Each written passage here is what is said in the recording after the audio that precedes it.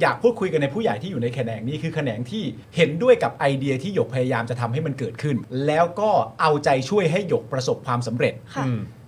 แต่มีการให้คำแนะนำว่าไม่ใช่วิธีนี้ได้ไหม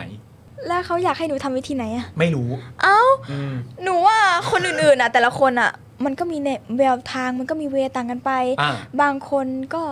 เรียกร้องไปที่กระทรวง บางโอเคคนก็ทำยื่นทำโพลอ่าอย่างอืม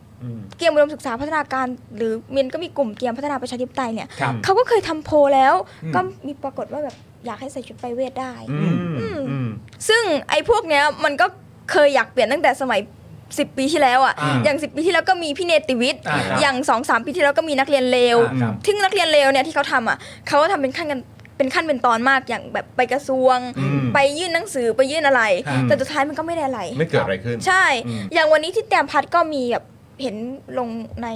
ทวิตเตอร์ก็มีแบบเขา